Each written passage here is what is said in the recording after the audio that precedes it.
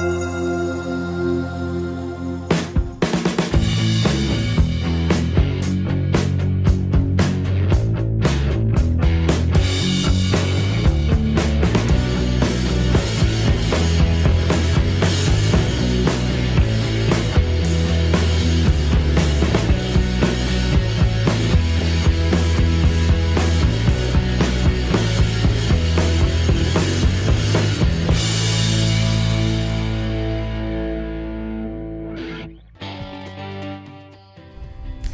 buenas tardes, bienvenidos a un nuevo programa de Toma Nota, este espacio que la Universidad Nacional de La Rioja tiene en Canal 9 todos los miércoles. Esto veremos en el programa de hoy. Maya de la Fuente nos trae información sobre el conversatorio de salud con Daniel Goyan, los primeros especialistas en neonatología graduados de la UNAR y la institucionalización de la denominación no docente para trabajadores y trabajadoras de esta universidad. En el tema del día analizamos cómo influye la pedagogía latinoamericana en la educación. Con Delphi Fausone hablamos de militancia joven. Y Rodolfo Roberto Ramírez Robles remata este programa con humor.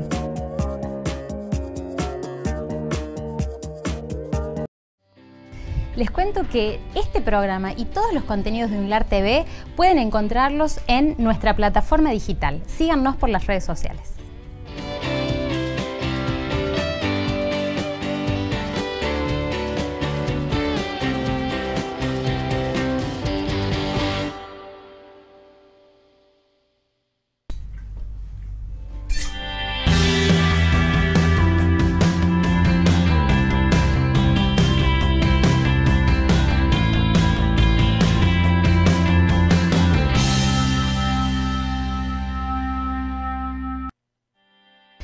El momento de repasar lo que está pasando en la Universidad Nacional de La Rioja. Por eso está conmigo Maya de la Fuente. Buenas tardes, Maya. Hola, Pachi, ¿cómo estás? Buenas tardes, buenas tardes a todo el equipo. Tenemos mucha información, así que a sentarse y a compartir con nosotros todo lo que hemos preparado. Bueno, empezamos. Dale, porque eh, estuvo con, aquí en nuestra universidad y nosotros estuvimos dialogando con él, nada más y nada menos que el exministro de Salud de la Nación, Daniel Goyán, quien, bueno, estuvo presentando su libro, Me fui con ella, así se denomina. Hubo un conversatorio, una charla muy linda que se desarrolló en los anfiteatros de nuestra universidad y como decíamos, dialogamos con él y esto nos decía. Versa fundamentalmente del concepto de la salud como derecho. En el mundo hoy este, hay como una puja entre dos visiones. Eh, la, la visión de la salud como un derecho y la salud vista desde los intereses económicos, es decir, eh, la salud como una oportunidad de negocios, que quienes defienden ese modelo dicen que también después garantiza que sea un derecho, pero nosotros observamos por todas las experiencias históricas y todas las experiencias mundiales que, estudiamos, eh, tanto en nuestro país como en otros países, que eso no es así. Que cuando la salud realmente se la toma como un derecho, primero el, único capaz de garantizarla como tal es el Estado porque luego cuando el mercado es el que ordena esto, la salud es vista más que nada eh, como una cuestión de interés sectorial. Lamentablemente en nuestro país ese rol de organizador del Estado sobre el sistema de salud argentino se ha ido degradando desde hace décadas ya, no es un tema de hoy, pero que hoy este, lamentablemente está entrando en una etapa diríamos, definitiva, final de desorganización. El sistema solar argentino está muy desorganizado y cuando el sistema está muy desorganizado, el que pierde es el ciudadano, porque es el que no puede recibir en forma más o menos equitativa eh, las prestaciones de salud a las cuales tiene derecho. Cuando el Estado está bien organizado en este sentido, se puede sentar con los grandes sectores, por ejemplo, de la industria farmacéutica y negociar mejores precios. Cuando esto está desorganizado, la industria farmacéutica le vende a un precio a un intendente, le precio otro, otro precio a la provincia, otro precio a la obra social, a otro precio, y así lógicamente el capital siempre busca la máxima ganancia, van sacando réditos de esa gran desorganización. Entonces, hay eh, la palabra de quien hasta hace unos años ocupaba la cartera de salud a nivel nacional y en esta charla, en este conversatorio que se desarrollaba en la Sala Azul del Cine, con la participación de la Secretaría de Derechos Humanos de la provincia y por supuesto la intervención de la Secretaría de Extensión de nuestra universidad, así que quienes lo hayan podido aprovechar ha sido muy fructífera la charla, el conversatorio y también la presentación del libro. Claro, que estuvo varios días acá, Goyan, Sí, tal cual, tal bueno, cual. y hay una noticia que es re importante, que es lo que me vas a contar. Ahora yo lo sé, pero está de festejos la UNLAR, está de celebración. Es exactamente, Pachi, porque este, bueno, tenemos que hablar de los primeros graduados en lo que es la especialización de neonatología. Por eso dice Pachi, ¿no? De festejo. Han sido más de 10 los chicos que han estado rindiendo esta especialización, estos cursos de posgrado. Y de festejo, ¿por qué? ¿Y qué es lo que significa? Da la casualidad que esta especialidad junto a tocoginecología y a pediatría son las especialidades con gran déficit a nivel provincial y a nivel nacional de los profesionales. Nosotros tuvimos la suerte no tan solo de ofrecer esta capacitación de posgrado, sino también de poder otorgarles el título a los flamantes profesionales. Dialogamos con los protagonistas, con el tribunal evaluador y esto nos decía.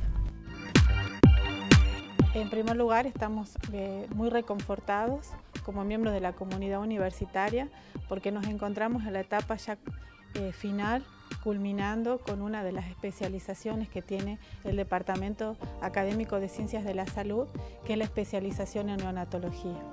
Todos los profesionales, médicos, neonatólogos, están accediendo ya a presentar como etapa final, como dije anteriormente, de su trabajo final de investigación y estamos en este momento haciendo esa evaluación. Formando parte del tribunal y también muy orgulloso porque después de la toma el rectorado se propuso y nosotros trabajamos con la doctora Schaap desde el Departamento de Salud y ahora me toca también desde la Secretaría de Posgrado, eh, sobre todo hacer hincapié en especialidades básicas para la salud de La Rioja. Y veíamos la necesidad de formar especialistas universitarios esencialmente en neonatología, en pediatría y en tocoginecología. Es, muy bueno todo el, trabajo que se hizo y la evaluación. Lo que hay que remarcar es que eh, neonatología es una de las dos, tres, cuatro especialidades médicas este, con alto nivel de déficit de, de, profesionales en todo el país, incluso en el mundo. Eh, la mayoría de los alumnos, de los especializando, tienen antecedentes importantes en neonatología, tienen entre 10, 15 años de neonatología y hoy tienen el título final, sería, de una especialidad universitaria. Satisfacción enorme, fueron este, eh, un camino largo, como decía la doctora, desde el 2014 que iniciamos, acompañándola, especializando, bueno, un poco organizando, buscando los docentes, fue una tarea ardua, pero hoy con una satisfacción enorme.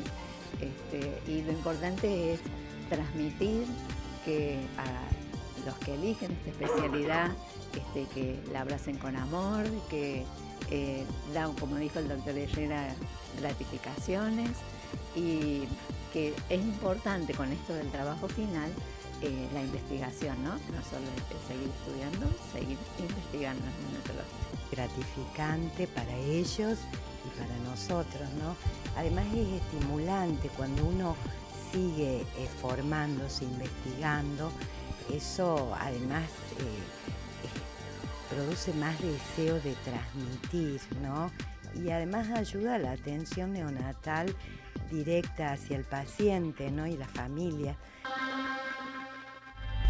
las felicitaciones para todos los flamantes graduados y bueno, ojalá que elijan sí. nuestra provincia para poder desarrollar todo el conocimiento que han adquirido en estos estudios de, de posgrado. ¿sí? Así es, de tema, la información que vamos a dar a continuación comprende a los no docentes de nuestra Casa de Altos Estudios y puntualmente tiene que ver justamente con la denominación no docentes, porque esto ha quedado aprobado, aceptado en paritaria nacional y en paritaria en particular. ¿Cómo se escribe?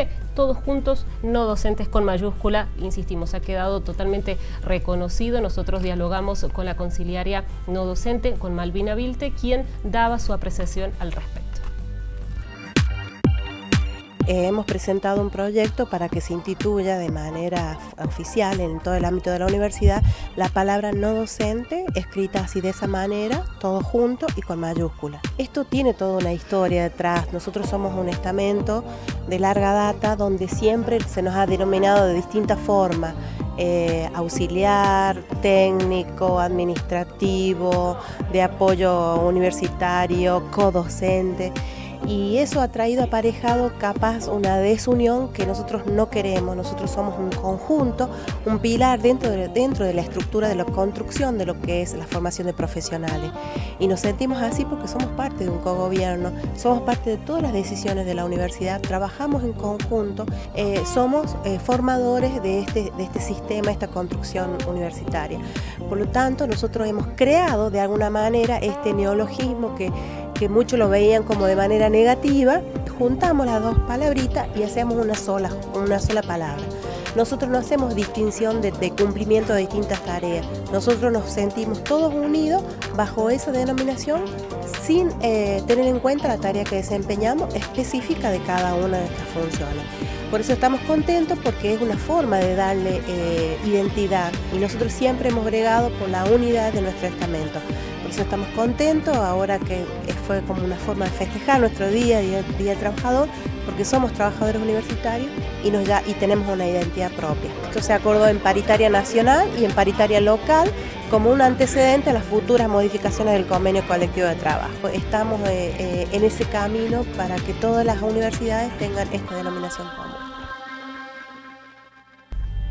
Bueno, destacamos que es una iniciativa impulsada por la federación a la cual nuestra universidad eh, adhiere a esta iniciativa y ha sido una de las primeras casas de altos estudios en sumarse justamente en la aceptación a través de la paritaria particular de esta nomenclatura, la cual próximamente se va a estar incorporando en el convenio colectivo de eh, trabajo de los no docentes. Muy bien, Maya, impecable, como siempre, lo, suyo. Muchas gracias. Hasta, hasta la próxima emisión. Así es, gracias a vos. Nosotros nos vamos a una pausa porque eh, volvemos para hablar de pedagogía latinoamericana y cómo influye en nuestra educación. Ya volvemos.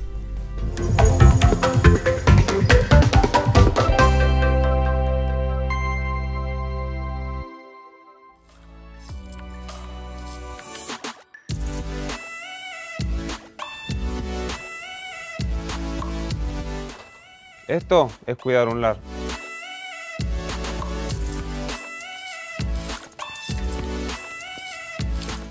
Esto es cuidar un lar.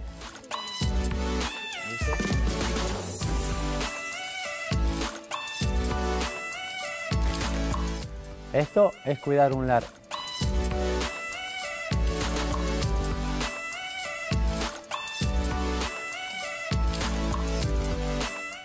Esto es cuidar un lar. Podemos cuidarla un lar. Protegiendo el medio ambiente. Manteniendo la limpieza de los espacios comunes de la universidad. Y consumiendo energía de manera responsable. Sumate, a, cuidar un lar.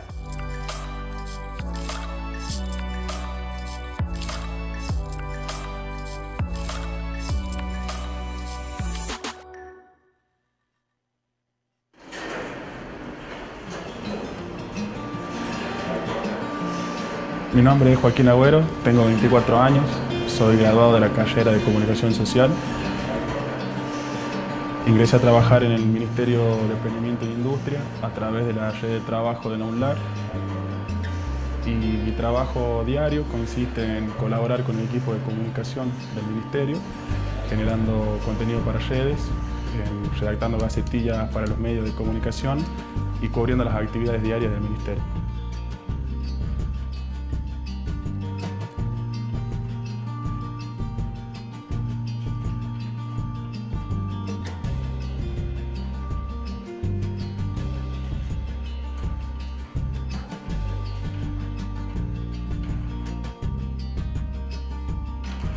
El logro de nuestros graduados y graduadas. La ULAR que construimos juntos.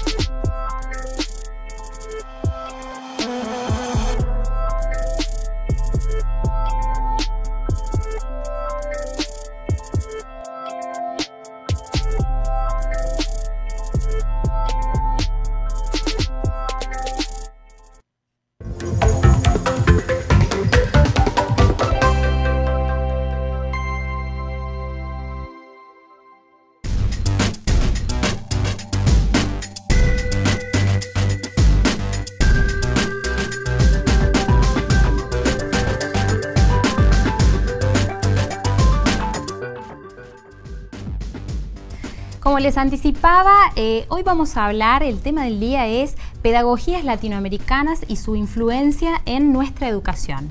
A mis espaldas están el decano del Departamento de Ciencias Humanas de la UNLAR, eh, Gustavo Kaufman, y la secretaria de Educación del gremio docente de La Rioja, AMP, Luciana Toledo.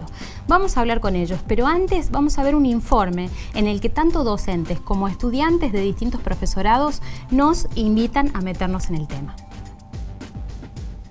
La educación busca que las personas desarrollen todas sus potencialidades en una sociedad que tiene sus propias pautas culturales. La pedagogía es una disciplina que estudia la educación para organizarla en función de lo que es deseable para una sociedad.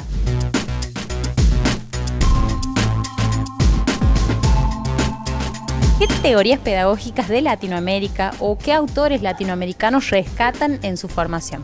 Em, tenemos mucho lo que es autores em, más europeos, tenemos una base más europea, pero si vamos a ir por autores latinoamericanos y sus influencias, nosotros tomamos autores como Freire en educación popular y tomamos eh, distintos estudios de la Universidad Cubana.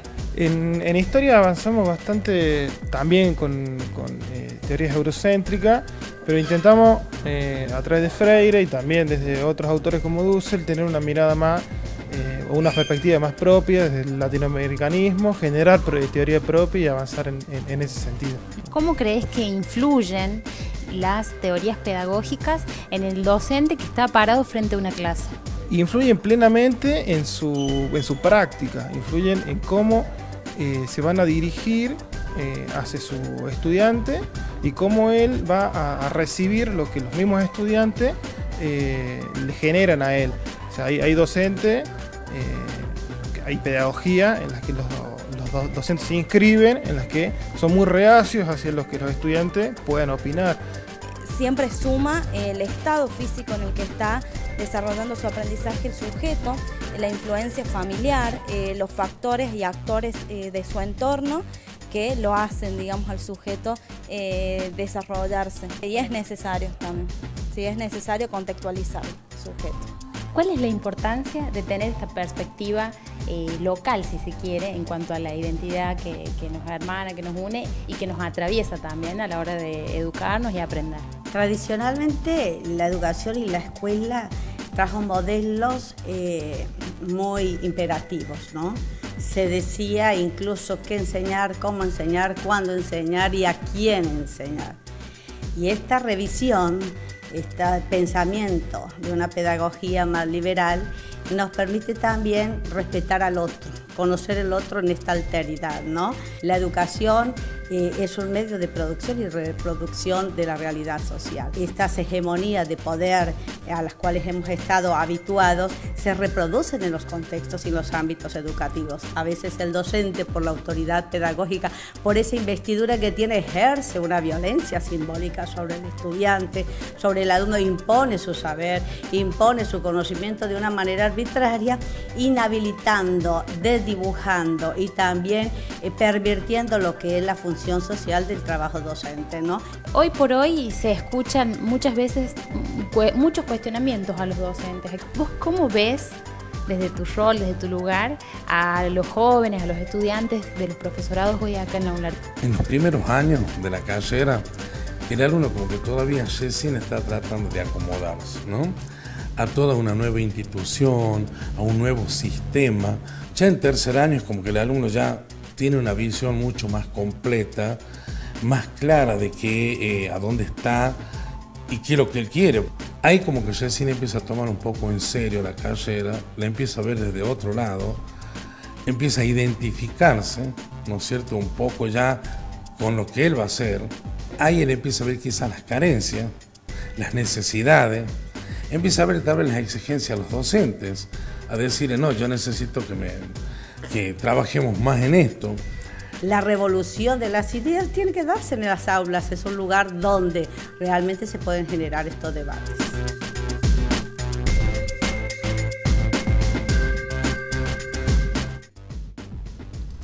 Muy bien, ahí veíamos una suerte de introducción al tema del que vamos a hablar hoy, que es pedagogía latinoamericana, cómo influye en las y los educadores, en la educación y en los mismos estudiantes. ¿no? Eh, les decía que me acompañaban el decano del Departamento de Ciencias Humanas y de la Educación, Gustavo Kaufman, y la secretaria de Educación de AMP, Luciana Toledo. Buenas tardes. Muy buenas, tardes. ¿Cómo están ustedes? Bien, muy bien, muy contentos de, compartir este espacio con, con ustedes y bueno, de comunicar también las actividades que llevamos en conjunto con AMP. Felices nosotros de tenerlos acá. Que básicamente yo quiero que me cuenten qué va a pasar en los próximos días en la UNLAR, porque ahí estábamos viendo eh, como una aproximación, ¿no? Eh, esta, estas miradas sobre cómo influye la pedagogía. Pero se viene una cátedra abierta en la universidad impulsada por ambas instituciones. Cuénteme un poco de eso, Gustavo.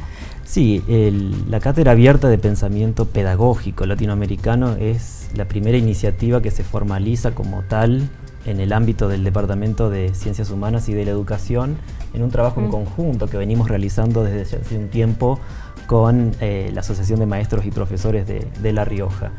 Y mm, se formalizó en el 2017 y bueno, le mm. fuimos dando impulso en este último tiempo y como bien decía, ya dentro de poco tiempo vamos a tener la primera actividad que va a ser formalmente el lanzamiento de esta cátedra abierta.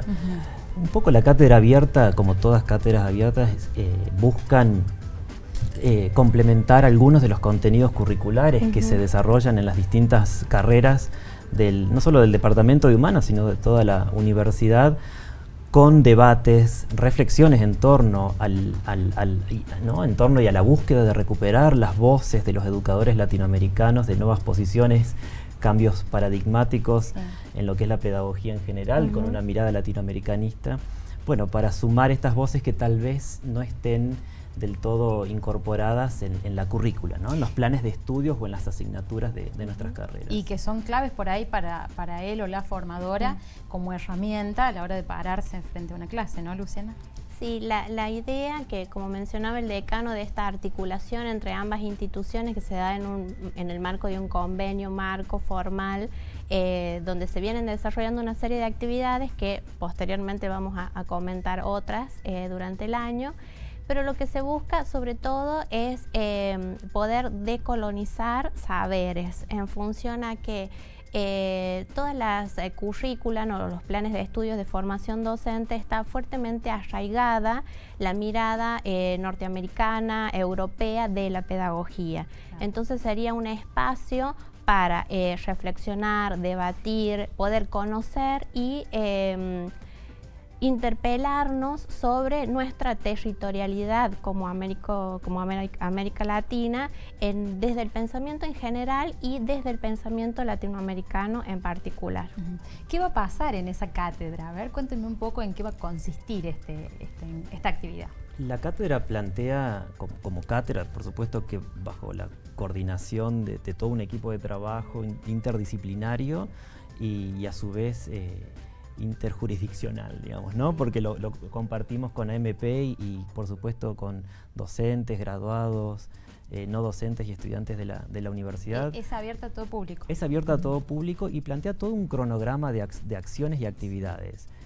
dentro de poco, seguro Luciano lo va a comentar, pero bueno, damos apertura a una primera conferencia, una jornada en la que, bueno, es el puntapié inicial para, para justamente empezar con estos debates y estas reflexiones, pensar las, las pedagogías con una mirada desde la, desde la independencia, ¿no? Estas independencias pedagógicas y demás. Y de, allí... La realidad que nos, nos toca vivir, ¿no? Exacto, ¿no? Eh, un poco lo que decía Luciana, pensar las pedagogías situadas, ¿no? Hablar del contexto, de pedagogías no fragmentadas o desarticuladas, justamente del contexto en las que las prácticas de enseñanza, de aprendizaje, de formación se, se desarrollan. Entonces la cátedra va a plantear a lo largo de, este año y, los que sigan eh, estas instancias de debate, puede ser una charla, una jornada, un taller, eh, bueno, distintas dinámicas eh, que, bueno, intentan otra vez, ¿no? Profundizar, problematizar las pedagogías que por ahí parecen habernos colonizado,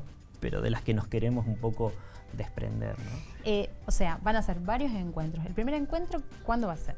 El primer encuentro es sobre pedagogía de la independencia. Se va a realizar el 30 de mayo, o sea, este mes, en la sala académica. A partir de las 8.30 eh, va a ser la acreditación. Eh, va a estar a cargo de la magíster Diana López Cardona, que es eh, a su vez la asesora pedagógica del gremio, con quien estamos trabajando fuertemente, es una de las disertantes. Después hay otra serie de, profesionales, tanto de la universidad como también de los institutos de formación docente. Em, va a ser durante la mañana.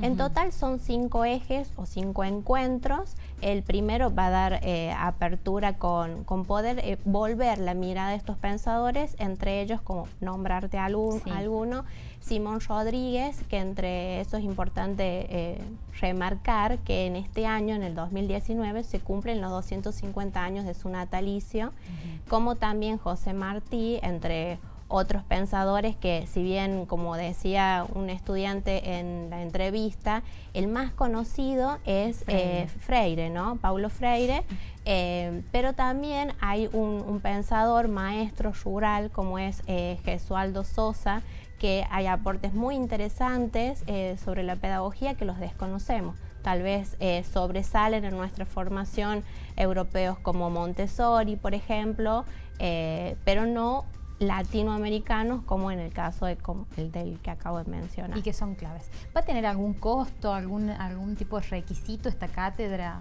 abierta, se puede participar libremente. Es totalmente libre y gratuita, abierto para todo público.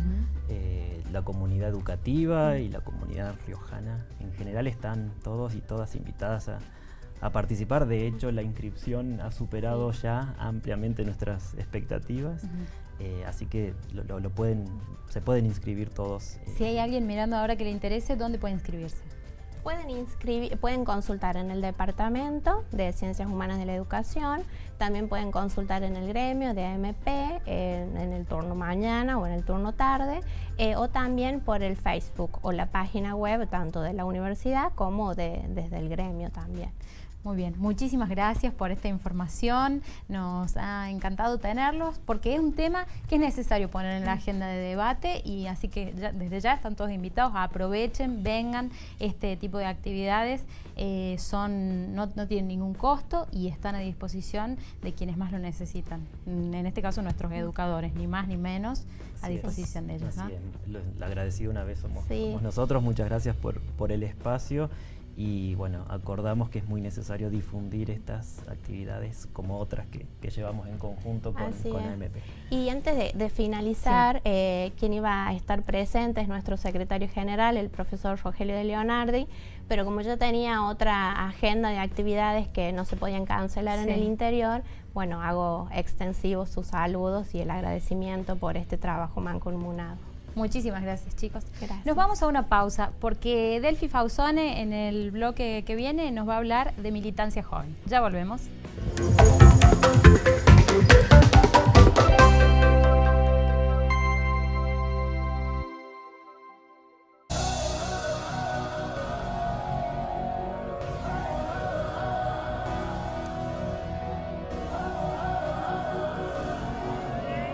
Esto es cuidar un lar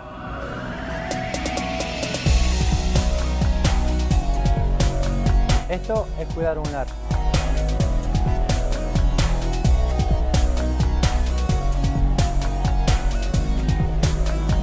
Esto es cuidar un lar.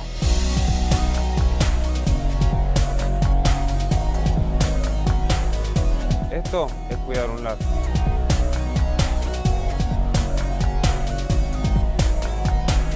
Esto es cuidar un lar. Sumate, a cuidar un lar.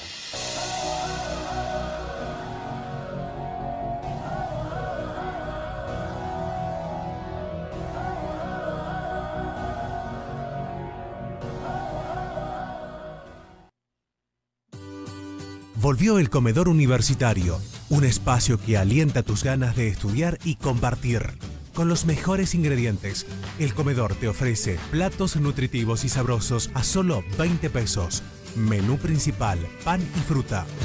Ahora la inscripción es más fácil con tu cuenta personal de estudiante, desde el celular o la compu, entre las 7 hasta las 11.30, en el sistema Tehuelche te anotás para asegurar tu plato. 400 estudiantes podrán disfrutar cada día del almuerzo con una cálida atención, precio inigualable, los mejores sabores y un lugar para compartir. Comedor Universitario Enrique Angelelli, un espacio que alienta tus ganas de estudiar y compartir.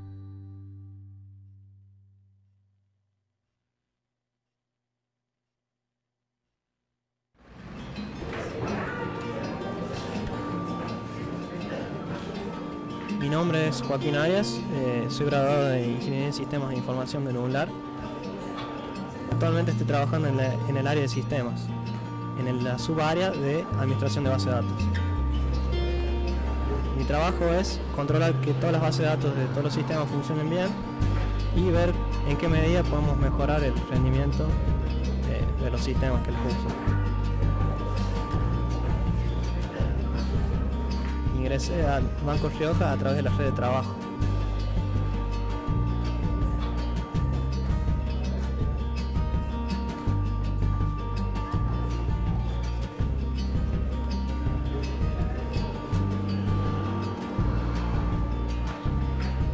es el logro de nuestros graduados y graduadas. La UNLAR que construimos juntos.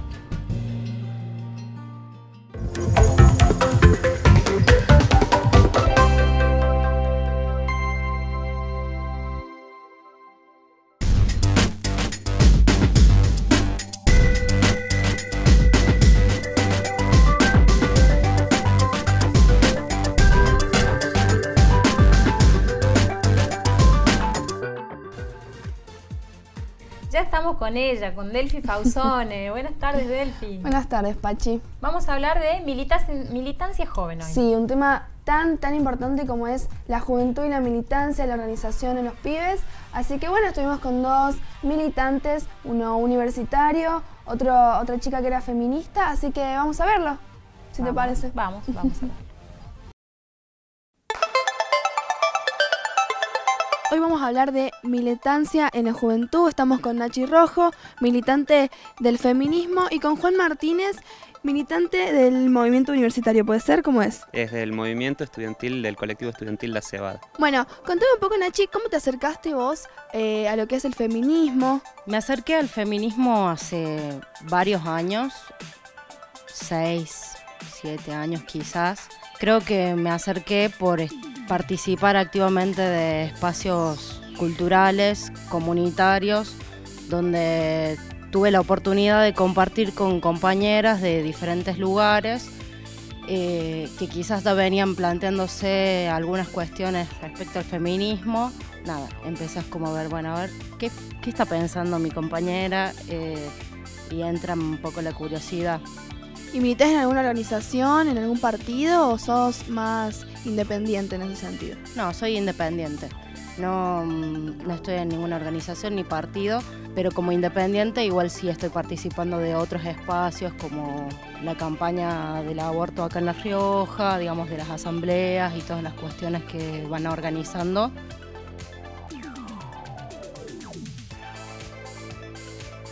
Y vos, Juan, ¿cómo te acercaste a lo que es la militancia estudiantil, que es, yo creo, una de las más importantes porque somos los jóvenes los que tenemos que eh, producir el cambio? O sea, yo veía a los chicos que participaban dentro de mi centro de estudiantes, que es el centro de económicas, y veía que se movían, que hacían congresos, que estaban ahí de acá para allá, y yo decía, qué masa que los, los chicos, los jóvenes, los estudiantes podamos tener esta participación.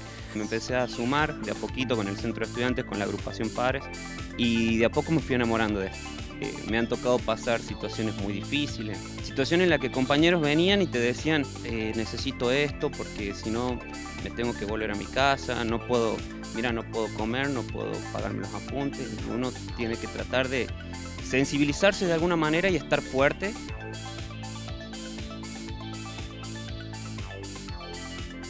¿Por qué creen que la militancia es tan importante para la juventud? Porque ahora estamos como en un momento de efervescencia en lo que todos los jóvenes buscamos militar en algún lado, ser parte de algún movimiento y ser agentes de cambio, como dije antes.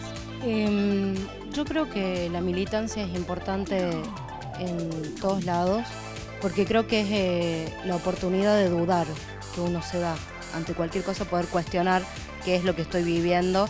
El militante es militante todo el día, hasta en las casas. Es muy cierto lo que decís vos, las personas que, militamos en algún partido, en alguna organización o independiente como lo haces vos, somos militantes en donde sea y donde sea. O sea, y para vos, Juan, ¿cuál es la importancia de militar en la juventud? Eh, no solamente lo que decía la compañera también, que es el dudar, que la importancia de que te permite dudar de todo, sino también aprender a sensibilizarse y aprender a entender en el otro, aprender en el compañero como uno más. Hoy en día creo que es una sociedad en la cual todo apunta hacia el individualismo. Vos tenés que ser el mejor, vos tenés que hacerlo por éxito propio, por éxito personal. Entonces eso también te da la militancia. El sentirte arraigado, el sentirte identificado con una idea, con un propósito, con un fin. Cada vez hay más jóvenes que de alguna u otra manera se sienten parte de un movimiento, se sienten parte de algo. Es por eso, es porque se sacan la venda de los ojos y se dejan de ver como seres individuales y pasan a sentirse parte de un colectivo. Bueno, pasaba esta primera parte que es, eh, digamos, también como a modo de introducción, nos contaban cómo empezaron. Claro, claro. Es muy, muy interesante lo que nos contaban los chicos, eh, cada uno con su militancia, uno en el, uno en el feminismo y otro en, en la universidad. Es muy importante, yo quiero que quede muy claro esto, la organización en la juventud el no tener miedo a participar, el no tener miedo a ser un militante activo, ¿no? Porque es algo muy importante y muy reconfortante para, los jóvenes formar parte del futuro. Y que bueno, es algo que los chicos por ahí iban ampliando en, ahora, en el segundo, perdón, en el segundo, en la segunda parte de esta este video, así que, me dijeron que se vienen las preguntas picantes. Sí, vienen las preguntas que son medio lo vemos, lo vemos. Dale.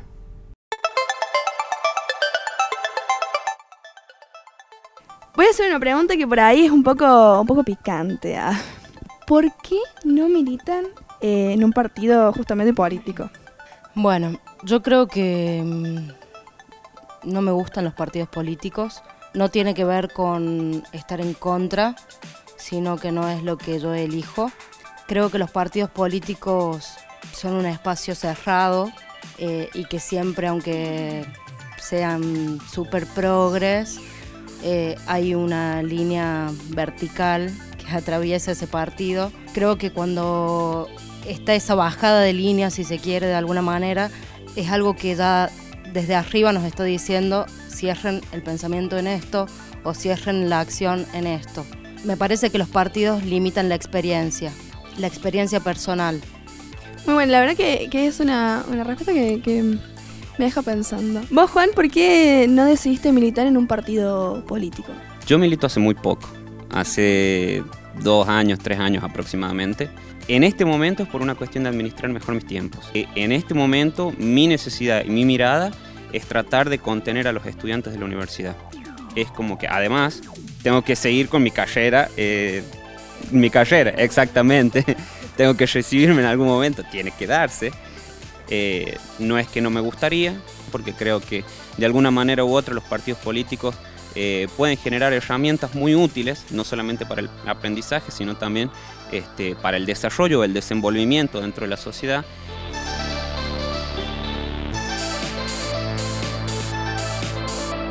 Bueno, seguimos con las preguntas picantes. En épocas de grieta, ¿se puede convivir con la diferencia de pensamiento? Sí, hay que saber tolerarlo y hay que saber convivir no ser eh, tibio de alguna manera u otra, no ser tibio, eh, pero saber cuándo levantarse y cuándo una persona no está dispuesta a escucharte. Porque en parte la política, en parte la militancia también es eso, es entender, escuchar al otro y darle tu postura.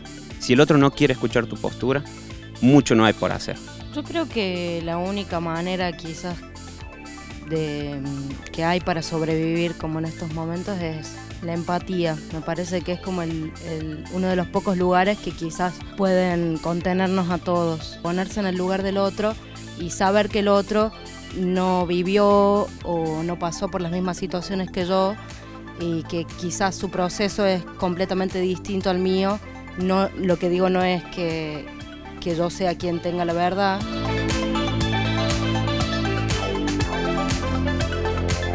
para, para ir cerrando ya con, este, con esta charla muy interesante que tuvimos acá entre militantes. Algo que le quieran decir a la juventud, a la gente que por ahí no se anima a, a militar o a, o a, formarse. Militar es complicado. Eh, es eh, una acción, es un acto en el que muchas veces comprometemos nuestro tiempo, comprometemos nuestras ganas, comprometemos nuestro bolsillo porque también muchas veces terminamos perdiendo plata. Pero al fin y al cabo nos hace dar cuenta, nos hace entender de que somos parte de algo, somos parte de una sociedad, tenemos que romper la burbuja en la cual estamos viviendo, porque esa es la única manera en la cual nosotros vamos a poder plantar la semilla para que el día de mañana, si queremos, si queremos tener un país mejor o tener una provincia mejor.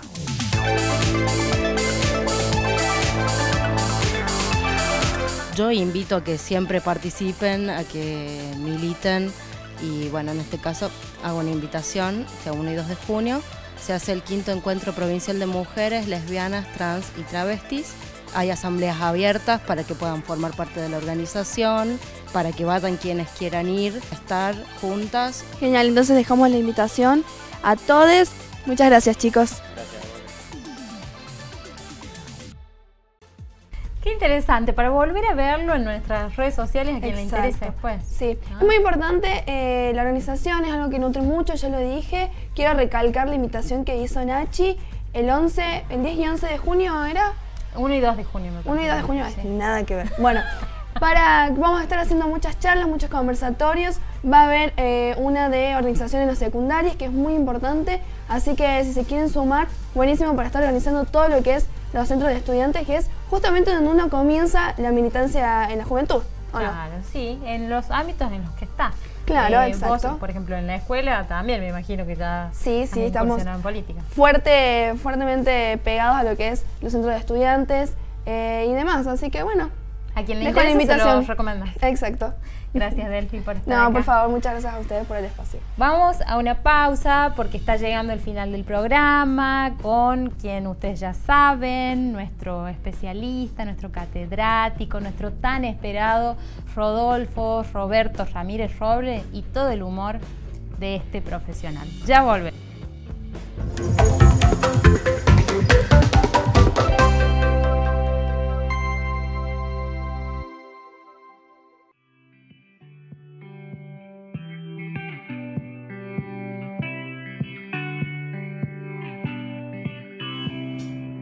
Esto es cuidar un lar.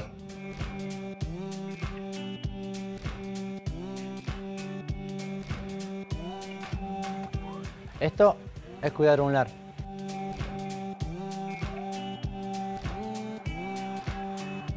Esto es cuidar un lar.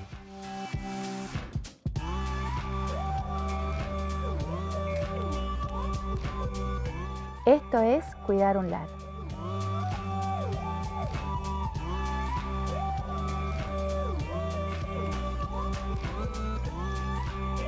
Esto es cuidar un lar. Sumate a cuidar un lar.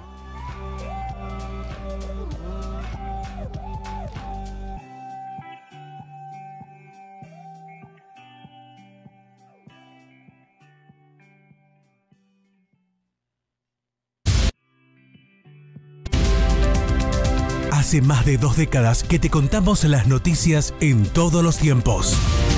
FM 90.9, una señal que siempre llega más lejos.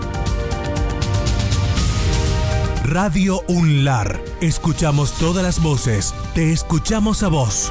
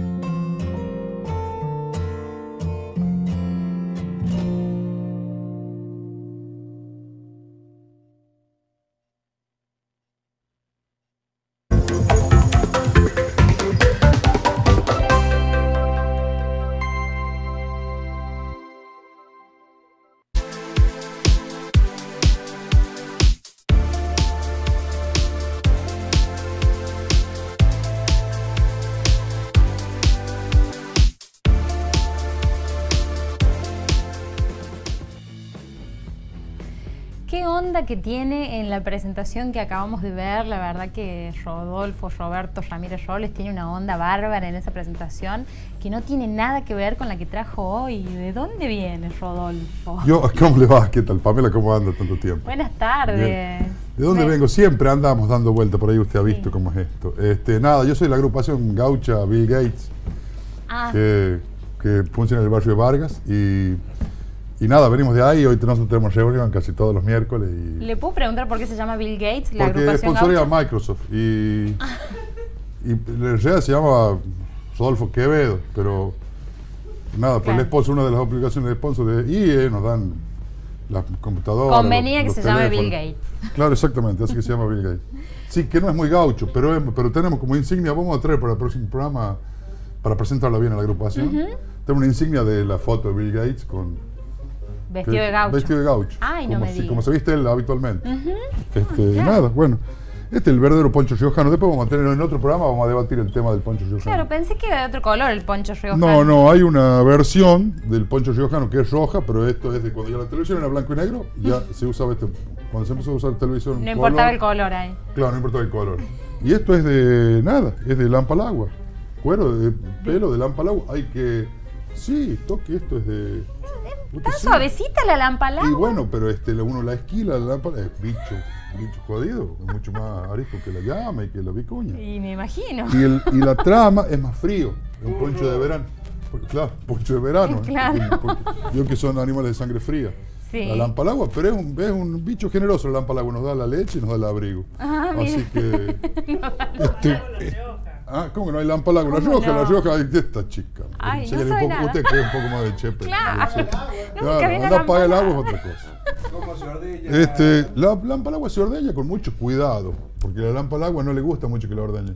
Y no, pero Este- ¿cómo se lo ordeña? Además, porque. Y bueno, Debe ser como se, todo, como se ordeñan todos los mamíferos, no me diga que hay cosas que no le pueden. Como se ordeñan las abejas, señora. Para sacar la miel, usted ha visto el, el laburo del, del- del- del apicultor de ordeñar abeja por abeja, se tienen que poner unos trajes especiales. Para la lámpara agua es lo mismo. Pero las abejas Le no se ordeñan, Rodolfo.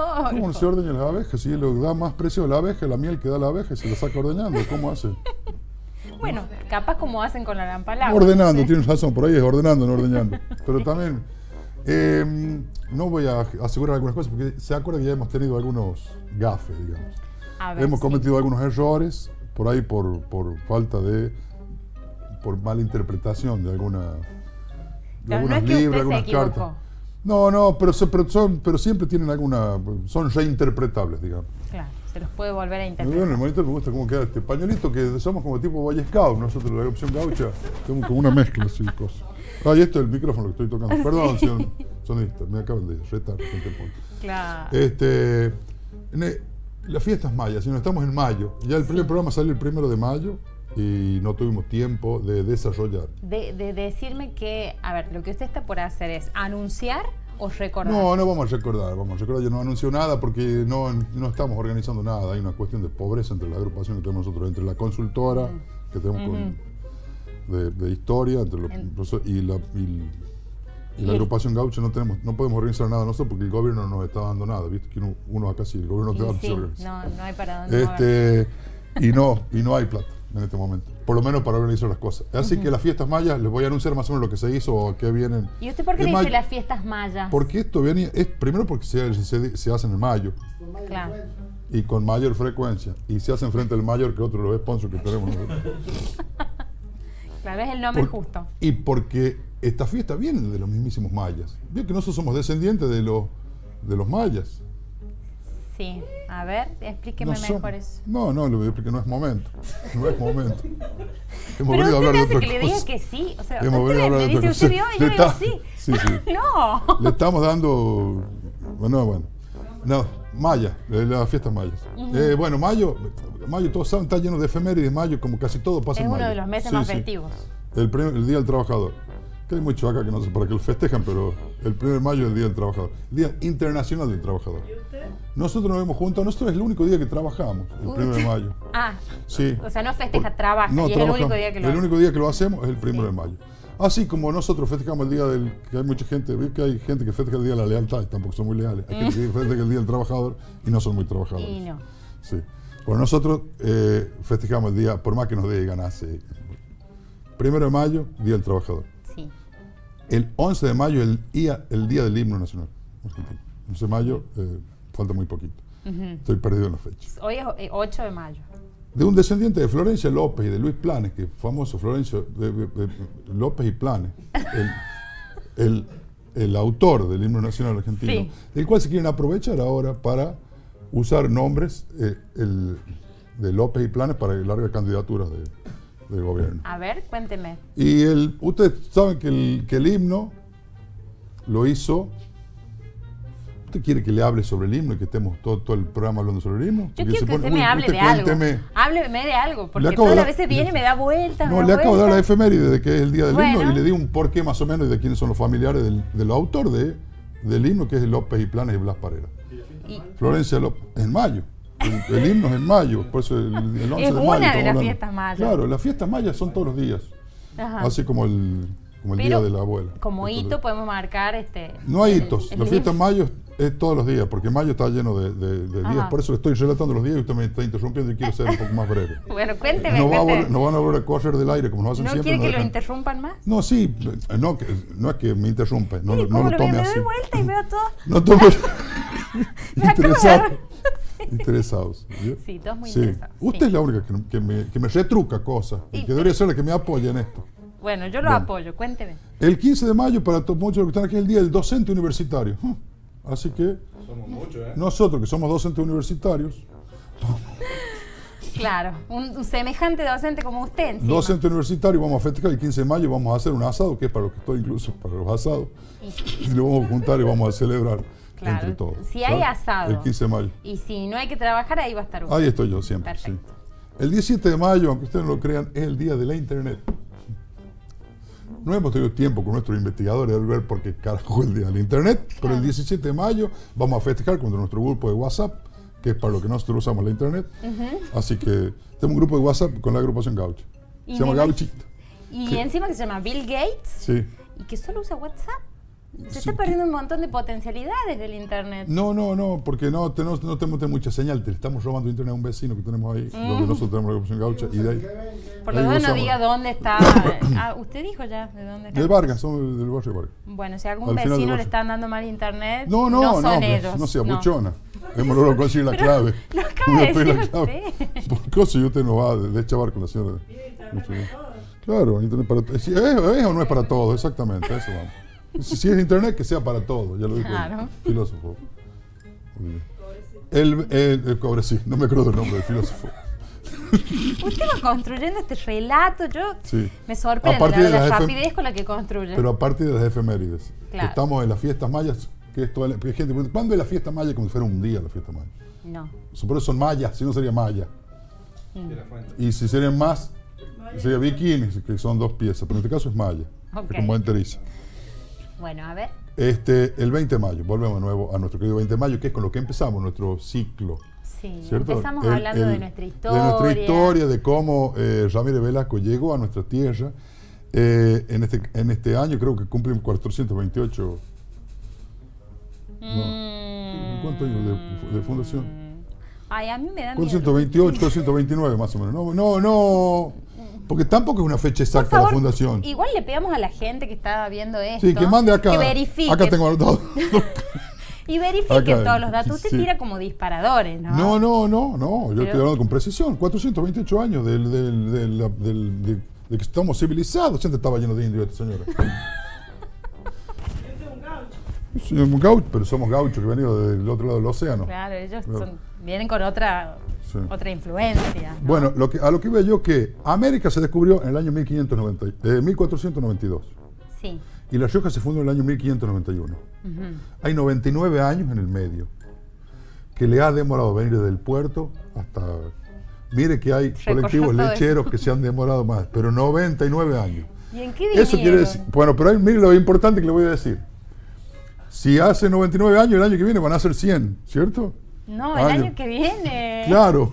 El año que viene van a ser 100 años de, que, de, la diferencia de, de números, ¿cierto? Sí, obviamente.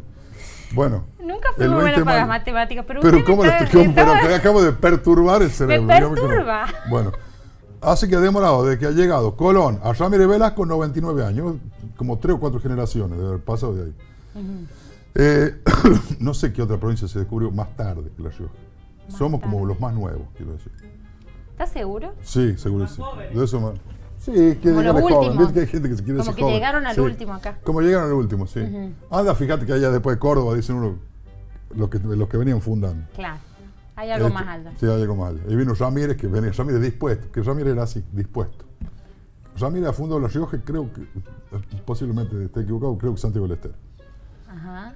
Después vamos a hablar de quién ha fundido La Rioja también. Claro, quién ha fundado quién ha hablar de quién ha fundado, pero vamos a hablar de quién ha fundido. Bueno, Bueno, y, y después tenemos en nuestro, en nuestro mayo, el 25 de mayo, que es nuestra fecha patria, el primer gobierno patrio, donde eh, Cornelio Larrea, con Sarmiento y, y- Usted, y esto sí, mire, estoy viendo unos Sí. documentales de historia bárbaros Sí. se los voy a recomendar porque usted me está tirando cualquier cosa. No, no, no. Dígame, dígame a dónde los veo, porque yo, eh, yo me quedo sin bibliografía, porque lo que nos pasa con ese internet, que tenemos poco internet, Ajá. nos van quitando, nos van quitando Eh, datos. datos. Y Entonces queda yo, sin datos. y cuando me quedo sin datos, tratando de leer a la noche, este, Ajá. leo, leo. Sí, o leo muy recortado. Entonces por ahí la interpretación que uno hace de la historia, eso me ha pasado que, que la interpreto de una forma muy cambiada. Me, me se me mezclan los PDFs, porque yo lo puedo leer, tengo un celular, tengo, tengo poca luz, lo leo en el, en el teléfono. Y puede ser que a veces agarro uno y Y, y me, eh, me ¿Sale otro por ahí? sin algunos datos. Pero bueno, la fiesta más importante a nivel nacional, Sí. a pesar que algunos hablan de que realmente el Día de la Independencia es el 20 de junio, muchos lo toman el 25 de mayo como el Día Patrio. el Día de la eh, Paz. El Día de la Patria. Ese día que básicamente es feriado.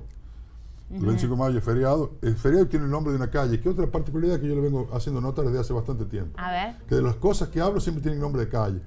sí, porque son importantes, son cosas La importantes. calle, se ve que era una calle muy importante a la cual Y dijeron, tiene que llevar ese nombre. Sí, sí, lleva ese nombre. Bueno, eh, la cuestión que el 25 de mayo nosotros nos vamos a juntar con nuestra agrupación Caucha, por eso es la fiesta maya por excelencia, el día que vamos a tomar como y los queremos invitar a todos. Vamos a hacer ahí, sí, vamos a hacer chocolate, pero no nos está dando el tema del chocolate, así que vamos a hacer un mate cocido. Mm. Estamos rebajando el mate cocido, mire usted cómo venimos. Ay. Dios. O sea, venimos licuándolo. No llore miseria, no llore no, no, miseria, no, tenemos la gente ahí, que es una gente amiga que hace panes, tenemos unos hornos de barrio, vamos a hacer unos pan caseros y unas tortillas, una Ajá. cosa muy linda. El 25 de mayo. El 25 de mayo. Hasta, hasta el 25 de mayo espero que lleguemos, vamos a tener un par de programas más donde yo les voy a ir, eh, vamos a ir eh, eh, reflejando un poco lo que vamos a hacer en esa fiesta, va a ser una fiesta gaucha, riojana, muy importante. Y el próximo programa va a ser el eh, 16, 17. Eh, 17 de mayo, creo posiblemente sea El el, 16, fin. el ese- 15 sí, o 16. sí, pues. O sea, tiene tiempo de, de adelantarme Bueno, qué va a pasar. Le vamos a traer un videito con la programación de lo que vamos a hacer en esa fiesta. Ujú. Eh, posiblemente traigamos algunos folcloristas que son que cantan con nosotros. Tenemos dos gauchos ahí que son que siempre nos acompañan. Como Yo los he acompañado. Lo vi, lo vi a usted metido. haciendo música. Sí, sí. Yo posiblemente me meto y lo acompaño, así como a ver si el programa que viene ya lo traemos. Oh. Este, sí, no, el chaqueño no, este muchacho es de, de, de del lado sur, ¿de dónde De? Del lado Chepe, del entonces debe sur, ser muy bueno. Sí, sí, muy buena gente. Ajá. Él es de, me parece que es de Villanilla. O sea, más Villanilla lejos, más al sur, de más al sur, sí. Cuando me decían al sur, me voy al sur, yo pensé gente que se iba a la Antártida, a Ushuaia, no, se iban a Villanilla. De Chepes al sur. De Chepes al sur. Bueno, chicos, me, me hacen señal. Nos quedamos sin tiempo. Pero no termino de desarrollar nada. Bueno, lo el lo- programa lo- que viene usted me, me dice las cosas y me dice exacto. No, la lo verdad. que yo no- es que usted me dispersa. por No, bueno, el próximo programa No seguimos. es un reporte que la repregunta, esa cosa no va conmigo, porque si no yo me No lo disperso. interrumpo más. Gracias. favor. Gracias por estar acá. No, gracias a usted. Chao, nos vemos el próximo miércoles a, las a la una de la tarde.